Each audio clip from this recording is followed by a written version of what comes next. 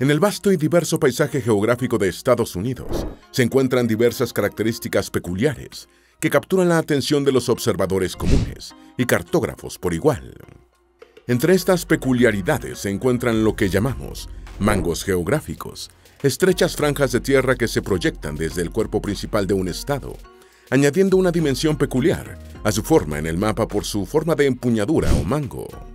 En este video exploraremos varios estados con forma de mango, desde Oklahoma hasta Maryland.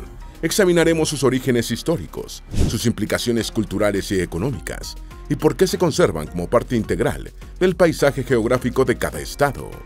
Antes de meternos a fondo, no te olvides de suscribirte a nuestro canal y activar las notificaciones para mantenerte al día con nuestras actualizaciones.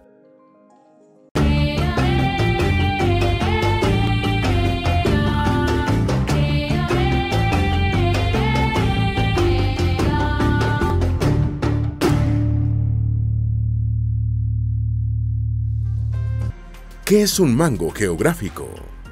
Un mango geográfico, también llamado panhandle en inglés, es esencialmente una franja estrecha de territorio o corredor que se extiende desde el cuerpo principal de un estado o país, con una forma que se asemeja al mango de una sartén o cacerola.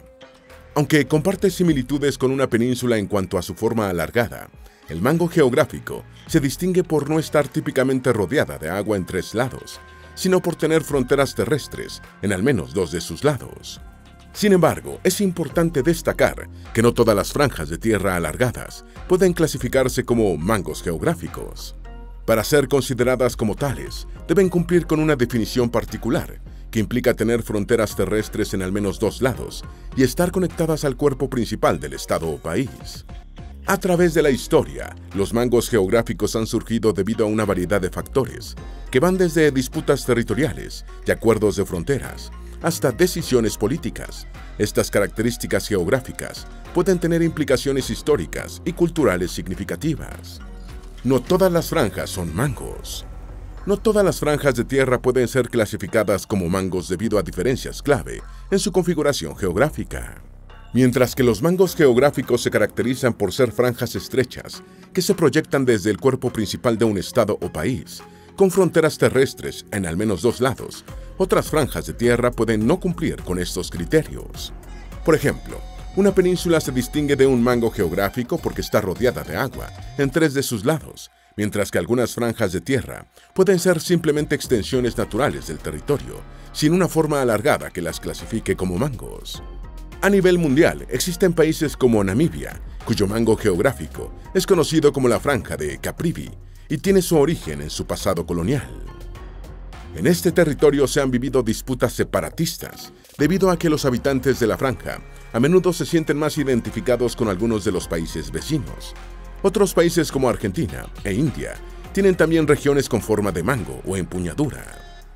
Sin embargo, hoy nos centraremos en aquellos estados de Estados Unidos que tienen mangos en su configuración, la razón de su existencia y por qué no se ha buscado una solución estética para corregirlas.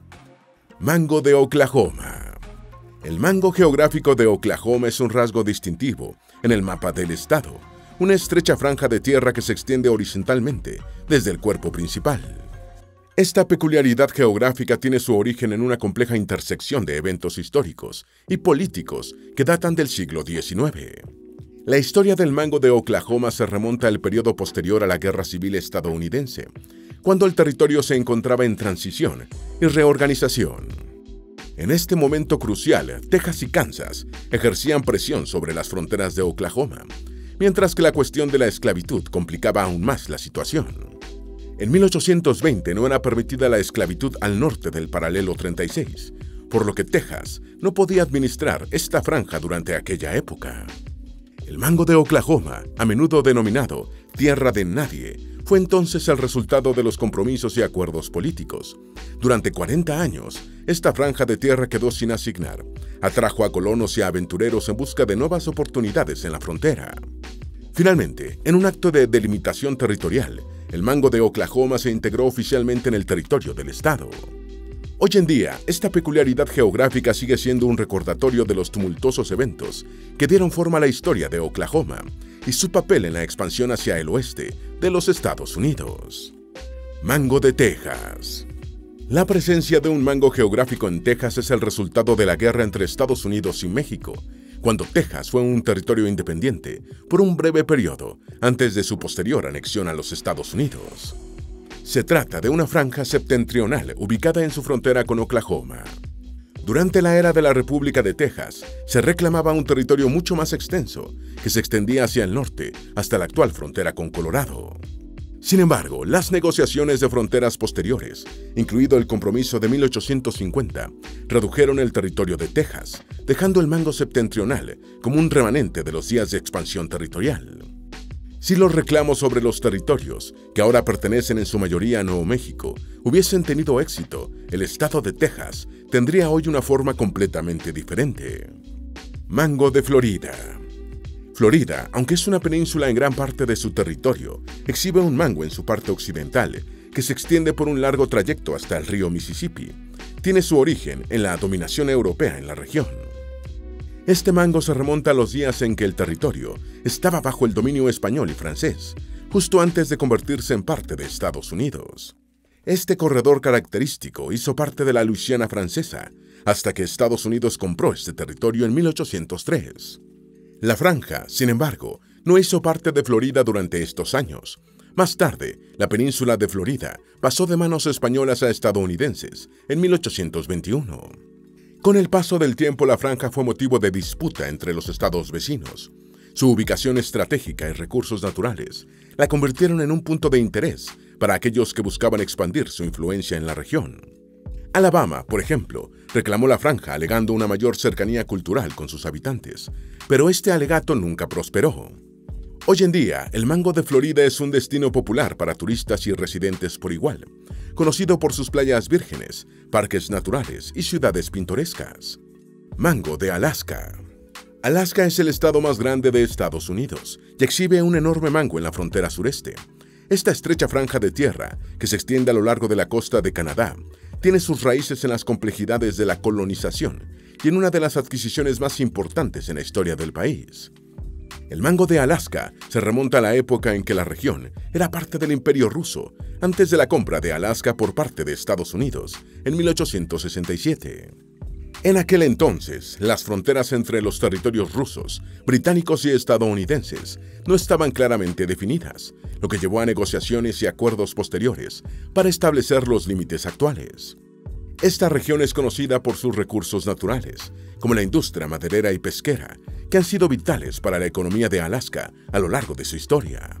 De hecho, la capital de Alaska, Juneau, se encuentra en este mango y no en el vasto territorio que se encuentra más al norte. Las fronteras de esta franja cambiaron varias veces durante el siglo XIX, debido a que el Imperio Británico nunca estableció límites precisos en este territorio cuando hizo presencia en la región. Mango de Idaho Idaho, conocido por su paisaje montañoso y vastos espacios naturales, tiene un mango en su extremo norte. Esta estrecha franja de tierra, que se extiende hacia el norte, tiene una historia que se remonta al siglo XIX. Al igual que otros mangos, este también se estableció en los días de la colonización. Durante este tiempo, las disputas territoriales entre los estados vecinos y las negociaciones diplomáticas llevaron a la formación del corredor, en la misma época en que se formaron los estados de Montana y Washington. Históricamente, el mango de Idaho ha sido un área de interés estratégico y económico, por su ubicación en la intersección de las rutas comerciales y los recursos naturales. Aunque este territorio bien podría haber sido parte de Montana o Washington, o estar repartido entre estos dos estados del norte, es posible que las diferencias a la hora de zanjar sus disputas fronterizas hayan dado como resultado este mango geográfico y su conservación por parte de Idaho. Mangos de Virginia Occidental Virginia Occidental es un estado montañoso y pintoresco en el este de Estados Unidos. Presenta dos mangos geográficos distintivos, el Corredor Oriental y el Corredor del Norte.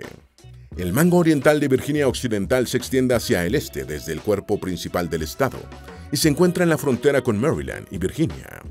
Su formación se remonta a la época de la Guerra Civil estadounidense, cuando Virginia Occidental se separó de Virginia e hizo parte de la Unión.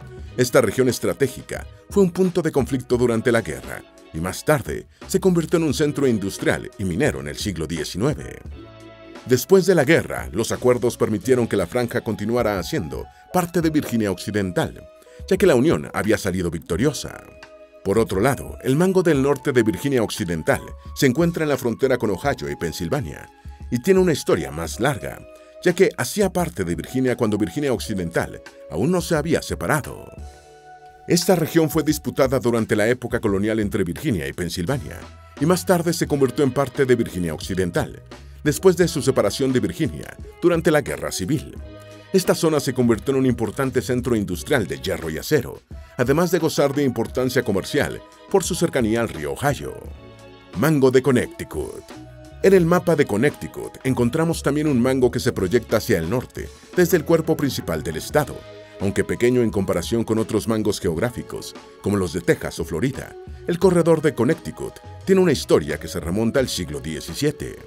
En aquellos días ocurría la colonización europea en América del Norte, cuando las potencias coloniales competían por el control de la región.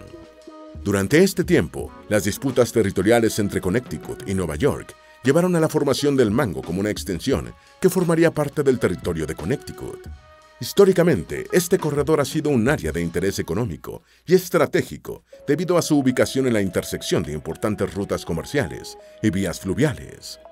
En la segunda mitad del siglo XVII, disputas llevaron a que el gobernador de Nueva York emitiera órdenes de arresto a los ciudadanos del territorio fronterizo que alegaran pertenecer a Connecticut. Finalmente, en 1683, las disputas terminaron con la concesión del corredor al estado de Connecticut. Por esta razón, podemos decir que este es el primer mango geográfico de Estados Unidos, desde la formación de las 13 colonias y mucho antes de la independencia. Mango de Nebraska. Nebraska, conocido por sus vastas llanuras y su paisaje agrícola, presenta en su extremo oeste un mango geográfico. Esta franja de tierra se extiende hacia el norte, desde el cuerpo principal. El corredor tiene sus orígenes en el siglo XIX, cuando el territorio de Nebraska se estaba formando como parte de la expansión hacia el oeste de Estados Unidos. Como puede observarse en el mapa, se trata de una de las más grandes, al punto de que es difícil considerarlo un mango geográfico. No hay una motivación clara tras la formación de esta franja territorial. Es posible que haya sido el producto del establecimiento de fronteras con Colorado, Dakota del Sur y Wyoming, que demarcaron sus territorios siguiendo las fronteras naturales. Como consecuencia, este mango fue conservado como parte de Nebraska, penetrando por el costado occidental en el territorio de los estados vecinos. La franja presenta una gran diversidad geológica y geográfica, con puntos de interés como el Monumento Nacional Yacimientos Fósiles de Ágata, el Fuerte Robinson y el Parque Geológico Toadstool, entre otros. Sin embargo, como advertimos anteriormente, no es tan fácil considerarlo un mango geográfico, debido a su tamaño, que ocupa dos tercios de la altura y un cuarto de la anchura del cuerpo principal del estado. Mango de Maryland En el mapa de Maryland encontramos un corredor que se extiende hacia el oeste, desde el cuerpo principal del estado. Es pequeño en tamaño, pero su característica más peculiar es que este mango se une al estado por una franja de tierra extremadamente estrecha, que en uno de sus tramos alcanza apenas una milla de norte a sur. El mango de Maryland tiene sus orígenes en 1781. Durante este tiempo, las disputas territoriales entre Maryland y Pensilvania llevaron a su formación. Cuando se estableció el territorio de Pensilvania, Maryland inició una disputa para conservar algunas de sus tierras occidentales, que hoy en día se encuentran en este corredor. Esta reclamación tenía por objetivo mantener el acceso al río Mississippi y asegurar las tierras cultivables que se encontraban cerca de él. Pensilvania, por su parte, declinó su reclamación sobre este territorio, y el mango permaneció como parte de Maryland, cuando se convirtió en el Estado 13 y el último de los estados originales en 1781. Es notable la diferencia entre esta franja y el resto de Maryland, ya que se trata de un territorio mucho más montañoso y útil para la agricultura. En algún momento, muchos habitantes del mango geográfico quisieron separarse, sin éxito, de Maryland para convertirse en Maryland Occidental, una iniciativa que nunca prosperó. ¿Por qué no corregir estos mangos geográficos? Los mangos geográficos, a pesar de su apariencia peculiar en los mapas, se conservan y no se corrigen por varias razones importantes que abarcan aspectos históricos, culturales, políticos y económicos. Por ejemplo, los mangos geográficos de Oklahoma y Texas tienen raíces en la época de la expansión hacia el oeste de Estados Unidos y las complicaciones relacionadas con la esclavitud y la delimitación de fronteras. Al día de hoy sería difícil la concesión de esos territorios con larga tradición a otro estado solamente por una cuestión estética. Además, estos mangos tienen un impacto significativo en la identidad cultural y la economía de las regiones en las que se encuentran. El mango de Florida es una parte integral del estado y contribuye a su industria turística y su patrimonio histórico. Del mismo modo, el mango de Alaska alberga a la capital y es un centro importante para la pesca y la industria maderera, lo que demuestra su valor económico.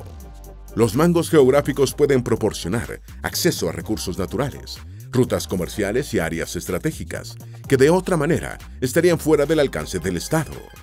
Por lo tanto, aunque puedan parecer estéticamente irregulares en un mapa, estas características geográficas son fundamentales para comprender la historia, la cultura y la geografía de los estados en cuestión, y se conservan como parte integral de su identidad y paisaje. Los mangos geográficos de Estados Unidos son mucho más que simples peculiaridades en los mapas.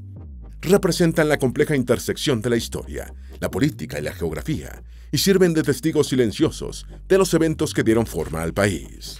Al explorar los mangos geográficos que vimos en el video, hemos descubierto la profundidad de su significado y su importancia en la geografía de Estados Unidos. Esperamos que este video te haya sido útil. Si tienes algo que agregar, por favor compártelo con nosotros en la sección de comentarios.